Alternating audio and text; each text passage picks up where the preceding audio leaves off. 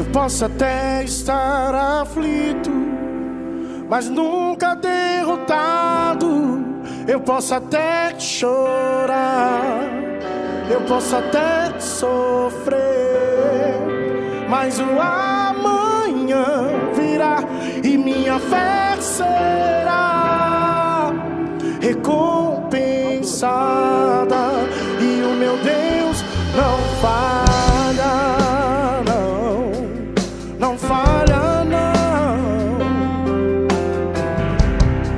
Eu posso até estar ferido, mas nunca destruído. Eu posso ser provado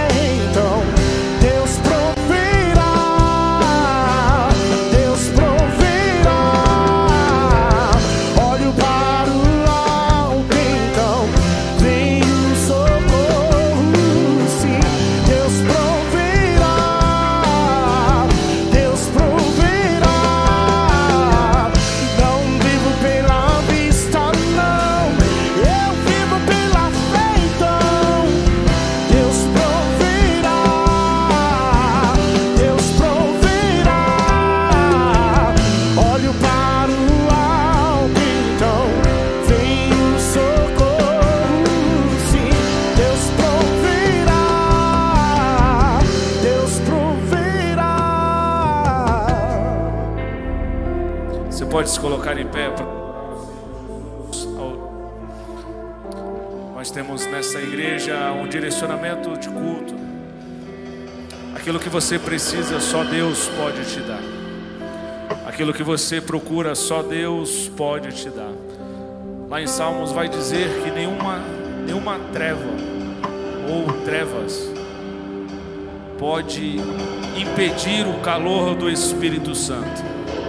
Nessa noite eu quero que você celebre ao Senhor, porque Ele pode te dar a resposta que você precisa.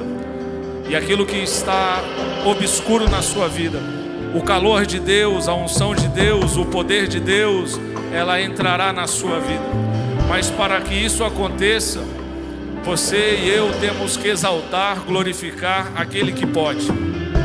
Você e eu temos que glorificar e exaltar aquele que detém a chave, a chave que abre e ninguém fecha, a chave que fecha e ninguém abre, aquele que é capaz de trazer a existência quem não tem existência, aquele que é capaz de trazer a ressurreição quem estava morto, aquele que é capaz de trazer vida hoje na sua história, aquele que é capaz de curar a sua vida, aquele que é capaz de prover, como foi cantado, ministrado aqui.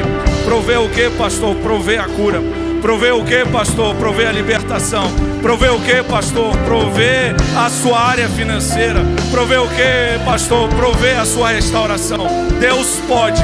Deus pode. Ou aquilo que o homem não pode, Deus pode fazer. Se você crê nisso, eu quero que você exalte ao dono da igreja. Eu quero que você glorifique ao Senhor da igreja. Eu quero que você aplauda a Jesus, ao Rei dos Reis, ao Senhor dos Senhores.